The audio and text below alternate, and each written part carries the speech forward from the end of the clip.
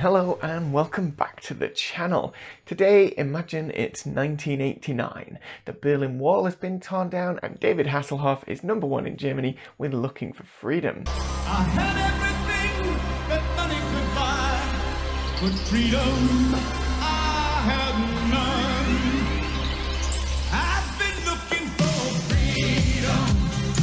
Well, that's quite enough of that, although that's quite some jacket he's got on. So this same year, Psion released the Psion 2 LZ. It has the same 0.9 MHz 6303 CPU, and the standard model packs 32K of RAM, the same as the upper model of the XP. There is, however, a 64K model available. If you're new to the Psion 2, I would suggest you have a look at my XP review. I'll put a link here or here. And if you've got one and you're unsure how to use it, I'll put a link to using my organizer from 1986 here or here. So let's take a look at the Psion LZ. When side by side, the XP and the LZ look very similar, almost identical. They've got the same hard case with a past sticker on the bottom. If you slide it out, they've got the same keyboard. They've got two data pack slots battery compartment, same screw layout, and the adjuster for the contrast. In fact, the only thing that sets them apart is the little XP or LZ and the slightly bigger screen on the LZ. Turning them on, and straight away you can see the LZ has more rows and more characters per row. In fact, instead of 16 times 2, it's got 20 times 4 character slots, which is a 150% increase over the XP. Of course, the trade-off is the characters are therefore much smaller. So when we first turn it on, we get a selection of languages. Other ROMs had other languages available. As soon as we're into the device, you can see straight away two of the big improvements. On the home screen, we've got the battery indicator, so no more rushing around looking for a PP3 when it starts going flat. And on the other side, we can see the time. And this saves us going to the clock constantly if we want to tell what time it is. Other than the increasing characters allowing more items on display, the menu works in the same way. So you can use the arrow keys to jump to something, or you can simply press the first letter in the application and it will jump straight to that application. Up first on the menu, we have Find. So Find allows you to search through the database that's currently in. You can either simply press execute to scroll through any entries, or you can put in a few letters and it will search the current database for them. In order to search for things, we first need to save something. So if we go to save, we can now enter a new file. So from here, you can simply start typing. To add another line, simply use the arrow key to move down. From here, pressing mode will allow you to save it to the various disks available. A is the RAM, B is the first slot, and C is the second slot. So we're going to save it to A, hitting execute now will save it, and we jump back to the main menu. Now we can have a look back at it by simply going to find, either typing in something to search for, or simply pressing execute to scroll through all available records. Once it reaches the end of the data file, it tells you there's no more entries. Pressing clear takes us back to the main menu. When inputting characters, if you press Shift and Caps, you can then put in lowercase. Shift Caps returns it back to uppercase. And Shift and Number allows you to enter numbers or characters. Again, execute will save it. There's a few extra functions to the data file on here and we'll come to those in due course. Moving forwards, we've got diary. So the first thing you'll notice when we hit the diary is we've now got this initial page. So we've got days of the week at the top, the year in the top right, and then the actual date under that. There are then four blocks, and these represent the different time of the day and are filled in once we enter appointments. So let's move forward to next week and pop an appointment in. I've gone for the third block, it'll put it at 2 in the afternoon, tells us the day is free, pressing enter brings up the edit, and now we can put an entry in. Hitting enter will then allow you to select the time you want. It started at 2 o'clock because I went to the third of the four dashes. We then use the arrow keys to change the time. Let's just do an hour. And now we have the option to add an alarm. If you press no, it'll just save the item. If you press yes, it brings up this alarm menu and you can use the arrow keys to change when the alarm goes off up to 59 minutes before. Once that's done, hitting enter shows us the day. So we can see the first block at six is free and then after the gym, three o'clock onwards is free. If you want to add a new entry, you can simply scroll up to one of the free blocks, press enter, put something else in, adjust the time accordingly, hit enter, and now it saves that. So now we can see we're free after the gym for a short period before we go to the pub. Pressing escape takes us back to the main view and you'll see it's filled in those blocks. If we want to edit them, we can simply select one of the blocks, find the one we want to edit by scrolling up and down and hit execute. At that point you can edit it, save it, add an alarm or not, and that's that. From the main view we've got a couple of options. If we press mode it brings up this menu so we can find and this allows you to find any entries. Simply put in a couple of characters and it will go look for one that matches. Pressing again will look through the rest of the diary and if there's no more it simply reaches the end. Again from the main screen we've got a go to. This allows you to select a date using the arrow keys and jump to that date. You can see then there's no blocks filled in and therefore we're free that day. Next up we've got tidy. Simply use the arrows to select the date and everything before that date will be deleted clearing space in the memory for other items. After that we've got print. Should you be lucky enough to have a Psion printer you can print out a list of what's going on. Then we've got save, which allows you to save this file to one of the memory card slots. Restore, which allows you to restore your file from one of the two memory card slots. X restore allows you to restore a Psion 2 diary onto your Psion LZ. Setup allows you to do two things. It allows you to alter the times at which those little bars start at, and it allows you to select whether you want alarm prompts or not. Going into the diary itself, we've got a couple more options. If we go to an entry, like so, pressing mode brings up this option. So we can now copy an item, and then we can paste it in. This saves quite a lot of time if you've got reoccurring events such as work or trips to the gym. In addition, you can cut an item so that it disappears from where you've taken it. We've seen pastes already. There's an alarm option which allows you to set when the alarm will be, the same as it does in the diary itself. We can once again address the tidy, the print, the save, restore, X restore, and setup. So there we have it the new diary. So I'm sure you'll agree with me when I say that the new diary application is more revolution rather than evolution. The ability to specify length of tasks means no more conflicts, and in addition, the idea of using blocks to represent time in a quick view is going to be adopted by every PDA maker out there. The calculator is unchanged, it still works to 12 decimal places, can do scientific functions, and has 10 separate memories you can use. The only real change is the increased display capability capabilities.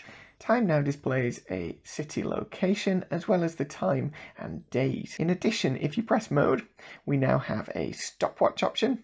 Pressing execute will start it, stop it, and pressing space will allow you to operate a lap timer. The lap timer scrolls up and there doesn't seem to be any way to see previous laps, so you can only see the last two entries. Still, it's a nice handy touch. We've also got a countdown timer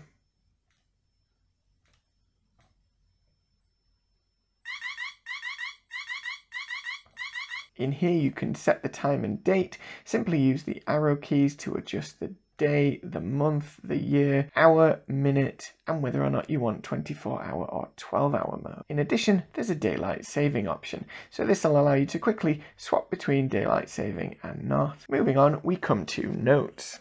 Notes is a completely new application. It starts with this default, which is the notepad, and allows you to enter notes. Unlike the database file, it doesn't appear to have a limit. It certainly can do more than 16 lines and more than 255 characters. If there is a limit, feel free to let me know in the comments below. So in Notepad, there's a couple of differences to using this to using the data file. The first is you can't use the arrow keys to create a new line, instead you press execute. In addition, unlike on the data file, you can add new lines in. This is a very handy feature. Each notepad only has the one page, it's not like the data file where it has multiple files attached, and once we save it, what you'll see is pressing mode allows us to create a new one. So we can have more than one notepad. Notepad also has a couple of brand new tricks up its sleeve. Let's create a new one. We're going to call it receipt. And now we can pop some entries in. I know that seems really cheap, but this was 1989. So once we have a couple of entries put in on our receipt, instead of adding them up ourselves, we can simply write sum followed by the equals and then hit mode and go to calculate. Boom, there it is, just adds them up for you. That's not the only trick it can do. It can also calculate mean, and of course the mean doesn't include our sum, it simply includes the first three options. Going to home takes you to the beginning of the notepad. Going to end takes you to the bottom of the notepad. Also, like on the main menu, if you press mode and then simply press the H, it'll jump to home and take you to the top. There's a couple more options. We've got a find, so it'll search through your notepad. We've got a sort, which will sort things alphabetically. We've also got a number, which adds a number down the side. This could be handy for creating lists. We've got password, which allows you to password protect a specific notepad. So this isn't for all of them, it's just for this one notepad. Finally, we've got a print option, and then we've got a directory, copy, delete, and zap, which erases everything. The directory button lists all the notes that are currently on the disk. We've not saved the one we currently got open, so it's not showing up, but you can see the other two. Going out and back into notes will open the last note you were working on and it'll put you in the same place you left it. If you want to open a different one, simply go to load and then hitting execute will list them as opposed to you writing in the name. Select the one you want, press execute, and it will open it. So Notes offers new capabilities not available in the current file system. You can have much longer notes, alphabetize them, add numbers down the side, and even perform calculations within the note itself. I think you'll agree that this is definitely a step in the direction of the creation of a word processor. After notes, we've got world. This is a world clock. So in here, you can set a destination, like so. This sets your main clock to that region. So if we go back out of here and go into time, there we are. We're now in Nice rather than London, and it's adjusted the time accordingly. Going back into here, we can find a different place by typing in a couple of letters and then scroll up and down through the file system to find the one you want. Pressing execute sets that as your world time and when you come back in it'll remain the same. Next up we've got alarm. We've got eight separate alarms that we can set. Simply select free slot, press execute. You then use the arrows to select the day and the time. Then you can choose whether you want it once, hourly, daily, workdays, weekly, and back to once. Once you hit execute, it will set it and you can choose which output you want. You can have the normal, siren and chimes. All of them are quite squeaky thanks to the piezoelectric speaker. After alarm we've got month. This adds a month view. You can use the arrow keys to scroll to any date you want or any month you want and then pressing execute will take you there in the diary. There's no entries for that day. There's a couple of options in here. We've got find, go to, tidy, print, save, restore, X restore, and setup. Next up, we've got program. So this allows you to write programs natively on the device, which you can then translate and run. If you are interested in programming on any of the Psion machines, as they all use OPL, then don't forget to check out my OPL coding tutorials. I'll pop a link here. This allows you to expand the capabilities of your handheld directly without the use of a PC, which helps make this handheld one of the most powerful on the market at the time. After that, we've got X-Files. No, not those X files. Although I guess you could record it on here. These are actually for the database files that we're using. At the moment, we just have one. It'll be named main and it'll be on the A drive. It's got two entries which we put in right at the beginning. One of the beauties of the LZ is that you can now easily create another file. So now when we go to directory, you'll see that there are two different options. Selecting it then means that find and save on the main screen or find and save on this screen will allow you to find files and save new files. One of the advantages of this screen is that if you're entering a few different files, each time you save it, it starts a new one. Unlike on the main screen, where each time you'll have to go back to save. Now if we go to directory, it should tell us that we've got three entries. You can choose to open a different file by going to open, hitting execute will show you them, and then select them with the arrows and press execute again to open a different file. You can also print a file and we now have a sort function. This alphabetizes all the files. Copy allows you to copy the file to one of the data packs. Delete allows you to erase a file and that's all the options here. After that we've got utilities. So this allows you to search the entire of data. So it'll look through the agenda and any files and any notepads all for the same thing. Like so. So this is very powerful and obviously allows you to look through all the files at once. We've also got info, which allows you to check how much memory you have left. Sound gives you the option to turn it on or off. Directory allows you to list all the files or just files or just notes or OPL files or comms files or plan or pager files, although I don't know what these would be. It allows you to list the old style diary. So again, this is very useful to work out what's taking up all your precious RAM. Next, we've got copy, allowing you to move files to the data packs, delete, which deletes files, password, which allows you to set a device password. This is a new addition to the LZ and very useful. You can change change the language.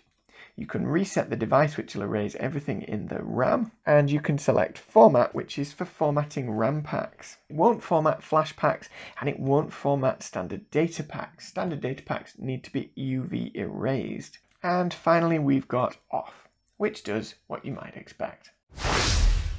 So the LZ adds a whole host of new features that you might consider to be missing from the XP, including the battery meter, built-in password protection, and a simple stopwatch and countdown timer. It also makes it much easier to manage multiple databases. This can be done on the XP via OPL or by using multiple memory cards. But the LZ makes this simply effortless. The addition of notes with its built-in calculations and the new diary features show very much the direction Psion is moving at this time. It won't be long before they put all those refinements in a clamshell design and create the Series 3, which will dominate the handheld market for over a decade. It's a shame we don't see innovation like that on devices these days. If you've enjoyed this video, as always, a like and a sub would be amazing. Don't forget to hit the notification bell so you don't miss my next video. As always, my name's Hugh. This is Handheld Computing. Thanks for watching.